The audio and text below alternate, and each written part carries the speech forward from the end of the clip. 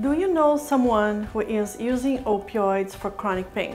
And you wonder, is it possible to reduce the opioid dose without making their pain worse? Today, I'll tell you about a large, multi-center, randomized control trial of 608 people conducted in the United Kingdom. I was a co-investigator in the research team in this trial, and the results are extraordinary. The randomized trial Improving the Well-Being of People with Opioid-Treated Chronic Pain, also known as I-WOTCH, was just published in JAMA, the Journal of the American Medical Association. So, let's talk about opioid tapering today.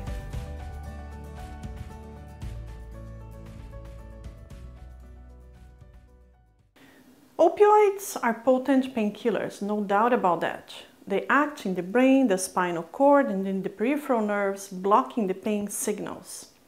They are very helpful when the person needs surgery or a procedure like colonoscopy or an orthopedic surgeon needs to reduce a fracture.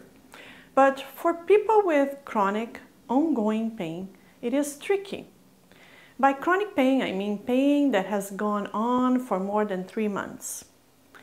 There are some kinds of chronic pain that may need ongoing opioid therapy, but the problem is that the body develops tolerance and the person needs higher doses to achieve the same benefits. It doesn't take too long to develop tolerance, and within a few months, the person may be taking high doses of opioids, but the pain is not gone. The person still has pain. So, how come that the person is now taking a higher dose of opioids, which would be 5, 10, 50 times higher than what we would give to someone having surgery, and they still are in pain? There are many explanations for this. One of them is opioid-induced hyperalgesia, a phenomenon that happens when the person takes opioids every day at high doses and the opioid is now causing changes in the pain system in the synapses and pain transmissions, therefore perpetuating the pain. So a group of researchers in the UK, led by Professor Harbinder Sandhu of the University of Warwick, set up to answer this question. In people who are receiving opioids for chronic pain, is it possible to reduce the dose without making the pain worse? Without impairing their quality of life, and they invited me to be a co-investigator in this trial. This trial was funded by the National Institute for Health Research, NIHR, in the United Kingdom, and it was conducted at the University of Warwick. This was a publicly funded study instead of a study paid by drug companies. This is one of the largest multi-center randomized trial of opioid tapering to date. 608 people were recruited from general family physicians for whom they were prescribing strong opioids on multiple occasions. People who heard about the study could also self-refer to participate in the study. So, nobody was forced to taper their opioid dose. The patients who volunteered to the study were told that there was no expectation that they would have to taper and did not have to commit to tapering at the time of consent. People were randomized to one of two groups. This means that they had a 50-50 chance of getting either the control group, which was a form of enhanced usual care, or the I-WOTCH intervention. Both groups received a copy of my book, the My Opioid Manager, and a relaxation CD. I-WOTCH stands for Improving the Well-Being of People on Opioids-Treated Chronic Pain. You can visit the trial website here. I-WOTCH consists of the following. Three days of a full-day group meeting held once weekly, led by a trained nurse and by a lay person with chronic non-cancer pain and experience of opioid tapering. This input from a layperson was highly valued.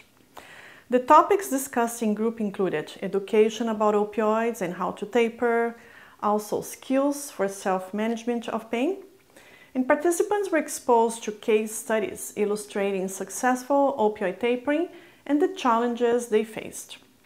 In addition, participants had an individual one hour consultation with the nurse, which was based on motivational interviewing techniques, plus two telephone calls of 30 minutes each and a further one hour long in person consultation. The nurses used a tapering app specifically designed for this trial that computed a standard tapering plan. The tapering plan consisted of a reduction of 10% of the baseline opioid dose per week until 30% of the baseline dose was reached, then a reduction of 10% of the remaining dose per week. So, for example, a person who was starting at 100 milligrams of morphine equivalent per day would decrease the daily dose once a week as follows. Week zero, they were taking 100 milligrams of morphine equivalent per day, and this could be divided into two doses per day, let's say 50 milligrams in the morning and 50 milligrams in the evening. So then the first reduction, they take a total of 90 milligrams of morphine per day. That is a 10% reduction. Then the second week, their total daily dose will be 80 milligrams of morphine per day, then 70, 60, 50, 40, 30. At this point, which is 30% of the baseline dose, we recalculate the 10%. So 10% of 30 is 3. But since we don't have tablets of 3 milligrams, we round up to 5 milligrams. So the next dose reduction will be 25 milligrams per day, and the next week they take 20 milligrams per day, then 15, 10, 5 and keep going until they are not taking any opioids or they reach a point where they do not tolerate any reduction in the daily dose.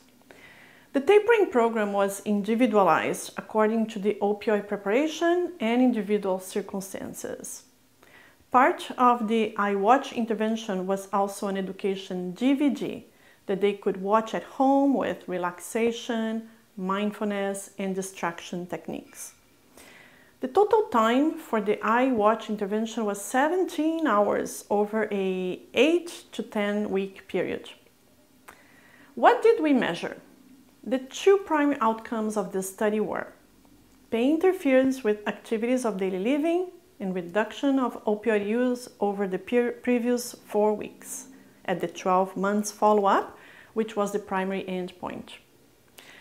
Secondary outcomes included pain intensity, severity of opioid withdrawal symptoms, health related quality of life, sleep quality, emotional well being, and proportion of patients who reduced opioids by 50% from baseline. How many people showed interest in participating? The team approached 20,900 people from 191 general practices in the UK. Then 2,220 potential participants expressed an interest in the study. In addition, nine people heard about the study and contacted the office. Of all of these people, 1,541 people were reached by telephone and assessed to see if they were eligible to participate. Of this, 608 were eligible and were randomized to one of the two groups. The mean age was 61 years, 60% were female, and 97% were white ethnicity. There were 35 groups interventions delivered at 25 community locations, such as church halls or community centers.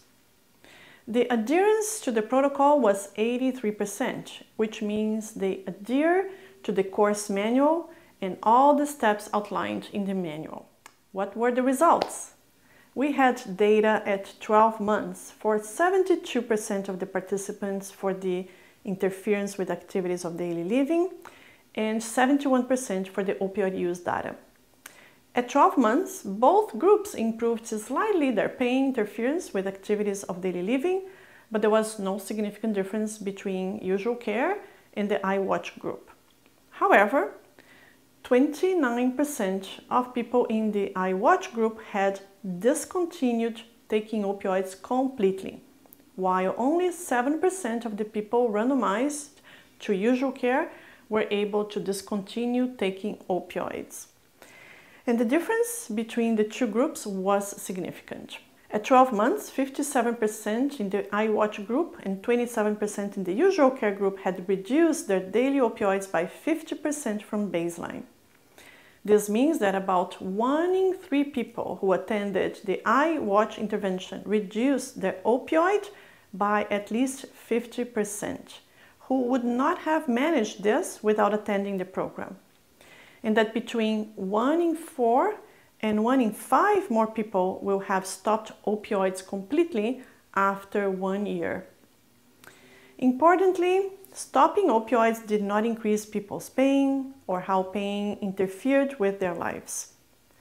Of all 11 secondary outcomes, six were significantly improved in the I-WOTCH intervention.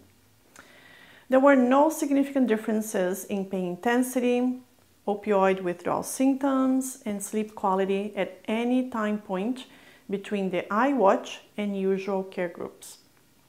You can find this trial publication on the JAMA website. So, what are the conclusions of this trial? We concluded that a group-based educational intervention that consisted of group and individual support as well as skills-based learning significantly reduced patient-reported use of opioids compared to usual care. But here was no effect on perceived pain interference with daily life activities at 12 months follow-up. Please remember that this video is not intended to provide medical advice. It is for educational purposes only. If you have a condition that is causing chronic pain, please talk to your doctor to get an individualized plan for you.